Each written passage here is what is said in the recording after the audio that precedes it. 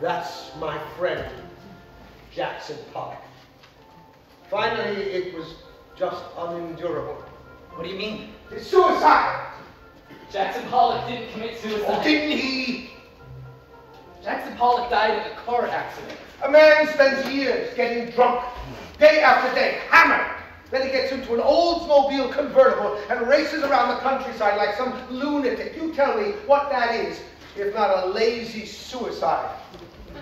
Believe me, when I commit suicide, there won't be any doubt about it. None of that mysterious crumpled car in a ditch gives me a headache. It's so boring. When you commit suicide. What? You said when I commit suicide. No, I didn't. Yes, you did. You misheard.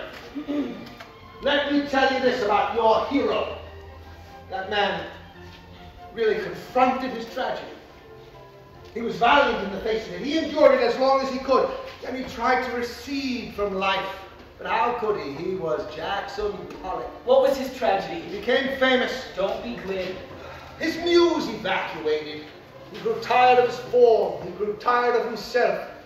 He lost faith in his viewers. You take your pick. He no longer believed there were any real human beings out there to look at pictures. How does that happen to a man? Better you should ask how occasionally it doesn't happen. I mean, he's an artist. He's in Life magazine. He's young. He has money. He's famous. Exactly my point. He is a schmuck from Wyoming who can paint. Suddenly he's Jackson Pollock. He's a commodity. Let me tell you, kid, that Oldsmobile convertible really did kill him. Not because it crashed, because it existed. Why the fuck did Jackson Pollock have an Oldsmobile convertible? So artists should starve. Yes, I should starve!